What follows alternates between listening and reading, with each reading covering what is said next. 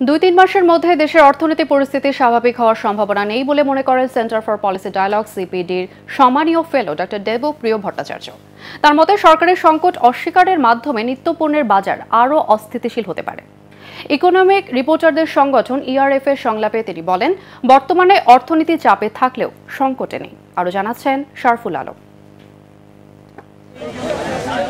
Ukraine Russia যুদ্ধের শুরু থেকেই একে একে বাড়তে থাকে নিত্যপণ্যের দাম। জ্বালানি তেলের দাম বাড়ার পর আরেক দফা চাপ বাড়ে ভোক্তার। পণ্য আমদানির হার কিছুটা কমলেও এখনও সহনীয় হয়নি এ বাজার।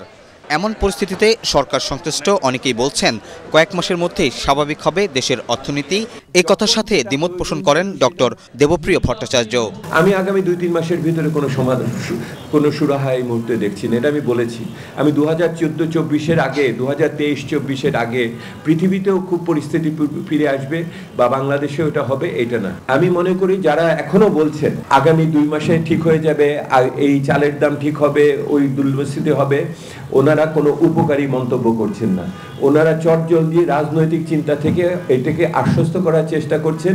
এইটার ফলে বাজারের উপরে আরও বেশি নেতিবাচক প্রভাব সৃষ্টি করে। কারণ হলো যে এইটা বাজারকে আপনি মনে করতে পারেন যে প্যানিক আটকাচ্ছেন কিন্তু আসলে কার্যত বাজারের আস্থাহীনতা সৃষ্টি হয়। দুর্বল আর্থিক খাত বেসরকারি খাতে কাঙ্ক্ষিত বিনিয়োগ না হওয়া রাজস্ব আয় দুর্বলতা ও সামাজিক নিরাপত্তায় উপকারভোগীর অংশগ্রহণ না থাকাকে অর্থনীতিতে চারটি বিচ্যুতি হিসাবে উল্লেখ করেন এই অর্থনীতিবিদ।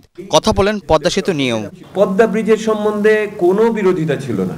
পদ্মা ব্রিজ বাংলাদেশের এক অর্থে সবচেয়ে প্রয়োজনীয় একটা ভৌত অবকাঠামোর প্রকল্প এটা যুগ যুগ ধরে পাকিস্তান মূল থেকে চিন্তা হয়ে আসছে। কিন্তু অর্থায়নের দিক থেকে নিঃসন্দেহে আরও সাশ্রয়ীভাবে এটা করার জায়গা ছিল এবং এই টাকার বিকল্প ব্যবহারের জায়গা আছে। ইআরএফ সংলাপে দেবপ্রিয় ভট্টাচার্য জানান বাড়তি মনোযোগের কারণে দৃশ্যমান মেগা প্রকল্পে সরকারি বিনিয়োগ বেড়েছে পিছিয়ে পড়ছে স্বাস্থ্য ও শিক্ষা খাত।